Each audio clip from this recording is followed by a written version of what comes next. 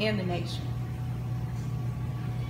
to receive a phone call that your child is no longer here, that your child is gone, that your child did not survive injuries, and that it was a gruesome scene, and to know that my child's blood was shed all over the concrete, and my child lay down in a pool of blood without his mama, life gone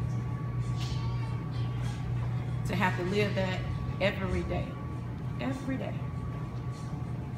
To be able to sit behind my closed door and try to understand what happened to my life and that what happened to my child that was a productive person in society. And to know that somebody was evil enough to kill my son.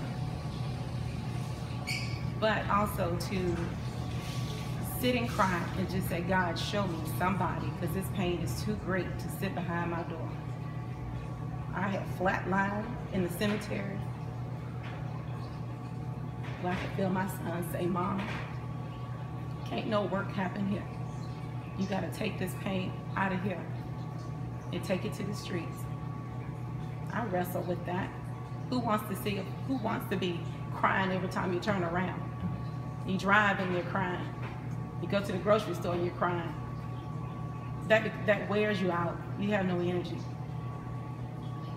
But then that day that my son, of his anniversary, and I kept seeing the flyers on Facebook. I'm like, oh. First I saw the one at TSU I was like, oh, that's wonderful. Then I saw the one coming up for his anniversary. I was like, I just, I just, I don't think I can do that.